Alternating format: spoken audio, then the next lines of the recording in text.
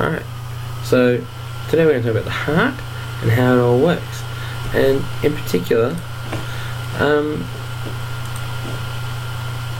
we're going to look at, well, the major areas where you can have problems or structural functions.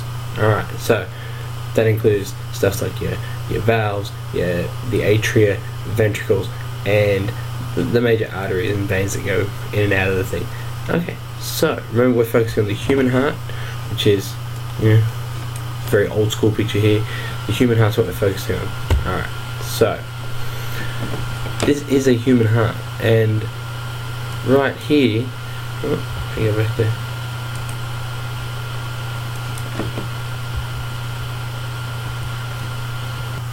G'day.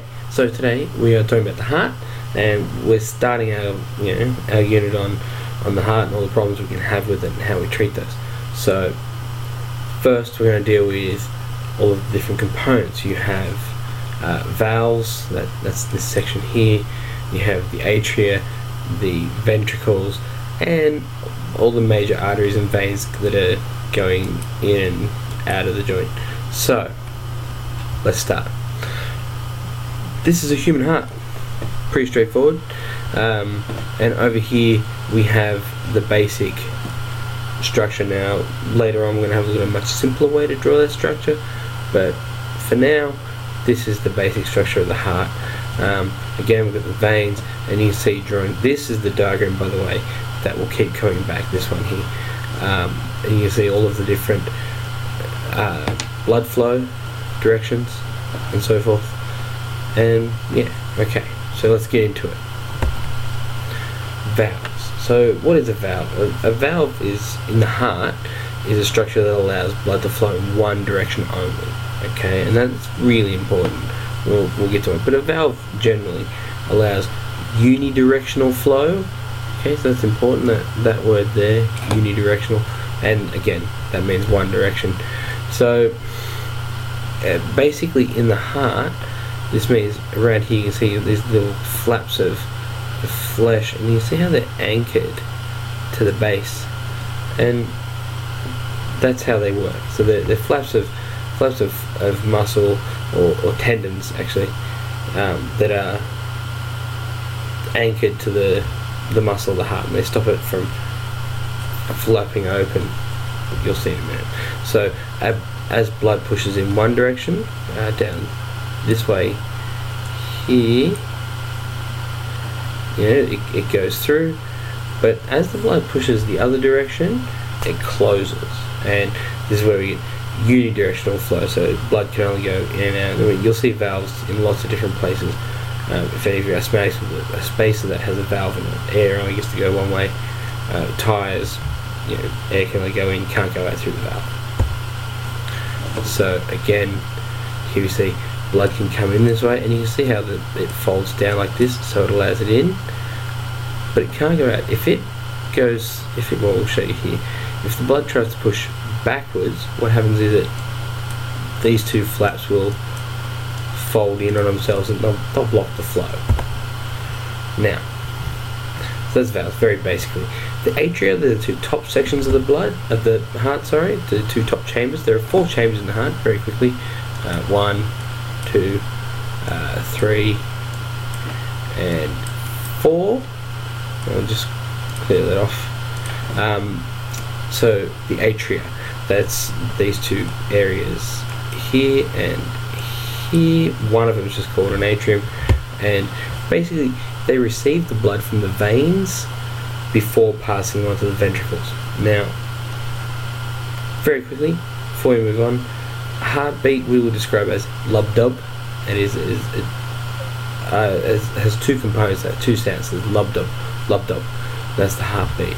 So that's the first place that, where the blood goes. And yeah, so now the relaxed heart, most of the blood just flows through those valves. It just drops in, um, just gravity.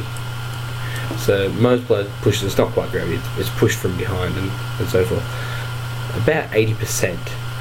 So the, then the first beat, that, that lub dub, that lub contracts this, this muscle here and that squeezes it through, like squeezing an orange. Last twenty percent goes through. Um, now, so we've got to relate structure and function. Okay, that, that's part of our job here. So it has elastic walls, uh, and they're thin, thin elastic walls. That's the structure. The function is it only needs to push a small amount. So it only needs a small amount of pressure. So you have thin walls, thin muscle, which means you only need a small amount of pressure through. That's the function. And you, if you compare it there to here, you'll see a massive difference. Now, the ventricles, that's the bottom chambers. Or those are the bottom chambers, sorry. So they receive the blood from the atria, pushes it down, and they then pump it out into the arteries. Okay? Now, the right ventricle pumps from the lungs, uh, sorry, pumps to the lungs for reoxygenation, so that's where oxygen gets into the the blood cells, red blood cells, and that needs to get to every single cell. And whereas the left pumps uh, to the rest of the body cells, so that's food, oxygen, waste, etc. Just that everything go, goes to the rest of the blood there. Have a think about that. One only has to go to the lungs, the other has to go to the rest of the body, and think about what that's going to mean for the size of the heart. Okay, so structure, function. So the entirety of the blood must be pumped into the arteries. Now remember, atrium just 80% of it drops through. All of it has to be pumped to physically. So you've got this is the second heart. This is the dub. So the second part of the beat, so lub dub. It's got thick muscular walls. That's your structure, and it has to pump 100% of the blood up and out. Now, not only is it doing that, it's also pumping it into a much smaller um, chamber. Okay, so it yeah, a much much smaller chamber into the artery. So from the big space in the heart to a small space. That means it's going to have pressure to squeeze it in there. All right. So again, dub, lub dub. Now, as we're talking about, left has to pump entire body, not just the into the lungs. And this is why the left side of the heart is actually thicker. Now, again, right. See, it's that short distance there. Left much thicker. And oh, terrible sorry. Um, and both of them are thicker than the atria. So it comes down squeezes and is pushed back up through there. Alright now veins and arteries. So arteries away. So focus on that.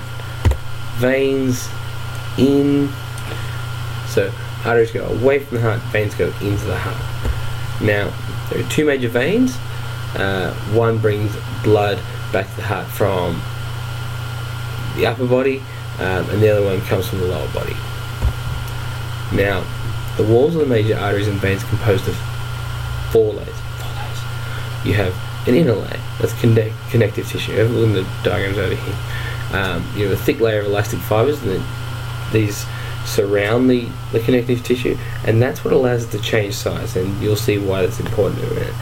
Um, you've got the smooth muscle to stop it from expanding too much, okay, because it is a muscular tract, okay, and you have the outer layer of connective fibers that give it elasticity and strength, okay, so if we have the, the inner layers, the endothelium, okay, there and there You've got the smooth muscle, so this is an artery, this is a vein. Okay. Um, arteries are much thicker. They've got to pump for a much longer distance. Okay, so they need to be stronger. Now, again, looking at structure and function, artery is thicker, so they've because they have to withstand withstand that strong push from the heartbeat. So the when the heart pushes out again, big space, little space, it changes the pressure. So they have to survive a, a much, much stronger push. So thick muscular walls, higher pressures. Okay, now the capillary network it actually absorbs most of the force. Um, so this means that veins uh, have a thinner wall because they need to withstand smaller forces. By the time the blood is going from into the valves, sorry, sorry, into the arteries, pushed through, then gets pushed through the through the capillaries, and it's lost most of its push by the time it gets into the the veins, so they're allowed to have a much thinner wall. Alright, so capillaries themselves are only about one cell thick, uh, and that's because they have to go to every single cell. Every single cell in your body is fed to by arteries. Uh, sorry, capillaries, and that's these guys here. We, going to worry too much about those at the moment. Alright, that's where we're at. I want you to, you know, if you've got the time, well, you know, just to, to help you structure that knowledge, draw up a table. Structure, describing the structure in the heart. Um, function, and then how they relate. So, yeah. Enjoy.